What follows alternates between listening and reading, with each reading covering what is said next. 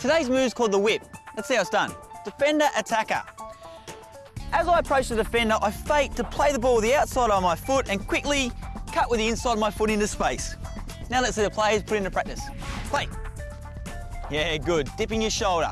Use your head to sell it. Good. Pushing outside, cutting in. Play. Pushing the ball with the outside and whipping it quickly inside.